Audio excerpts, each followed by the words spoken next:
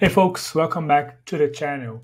In today's video, I'm going to show you a full pricing comparison between Zapier and Make. So if you are looking into both platforms and you are still deciding which one is the best for you, in this video, I'm going to specifically talk about the pricing and how they count operations and tasks. Okay, so let's get started. So in this screen here, you are seeing the structure this the Zapier has different plans, right? But before we dive into their specific plans and pricing structure, I want to talk about the difference between how Zapier counts tasks and how Make counts operations because it's, it's different.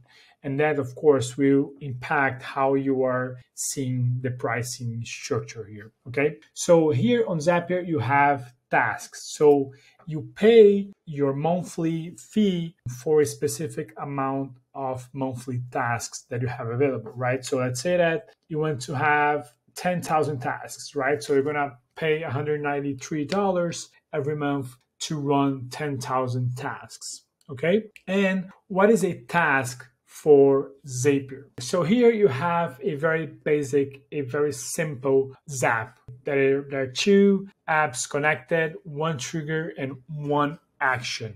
And Zapier counts a task for every action that runs successfully on a given zap. So in this case, if this zap triggers, it's going to count as one task. So as you can see here on the zap history, you can see that the last time it ran, it was it counted as one task. And that's really important for you to understand.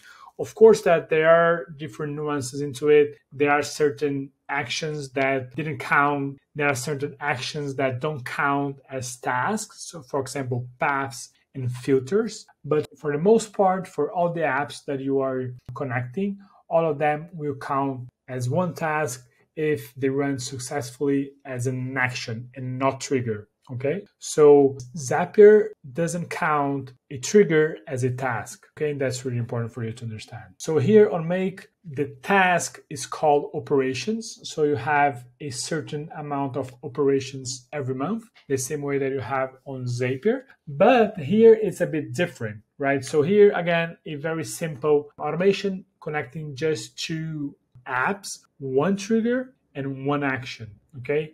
And here on make, you are counting two operations every time that this automation runs. So as you can see here on the history, you have two operations, right? So it counts one operation for the trigger and another operation for the action. Again, it's different from Zapier that doesn't count the trigger as a task right? And of course, again, this very similar to Zapier here, you don't count filters and certain actions internal like make action like certain filters as an operation. You're only considering actions for apps and also other modules here. So basically, if you want to build a Zap on Zapier, just connecting two apps, and if you want to do the same zap here on this scenario, just connecting two apps, the same scenario, the same two apps, everything, here you're going to have the double amount of operations than on Zapier,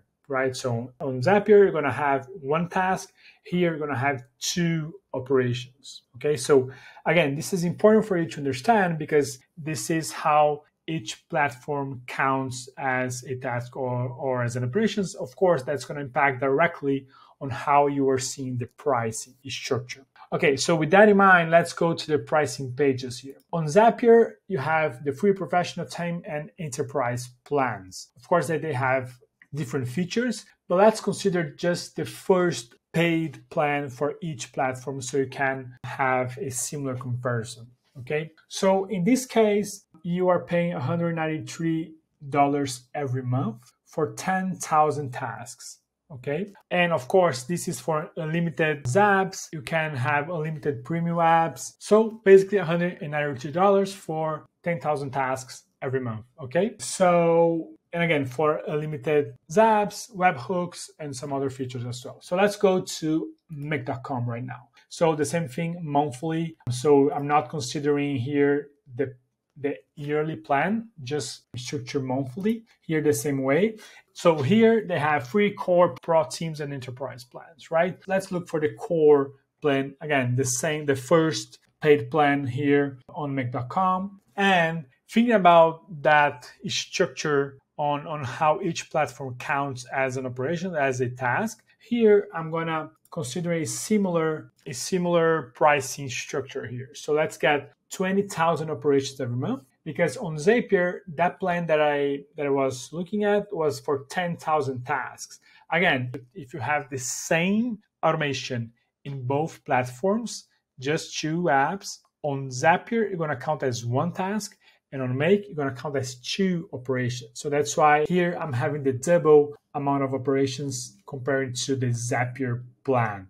And here, the monthly plan is almost $19. Okay. Again, for unlimited scenarios, unlimited active scenarios, you have webhooks, you have basically the same features that you have on Zapier.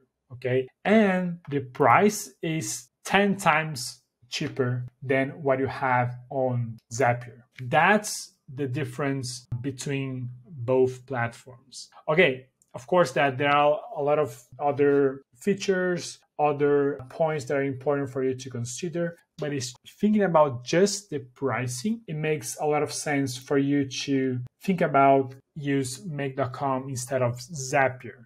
Again, Zapier is easier for you to start building your first automations if you're just starting out, but with Make you have more more features, more capabilities. And if you're looking for a full understanding of the difference between both platforms, click on this link here below to watch my other video where I go and I show you the main difference between both platforms in terms of features, in terms of usability, in terms of everything that you can build on both platforms. Okay. But again, thinking about the pricing here for both platforms, Make is 10 times cheaper than Zapier.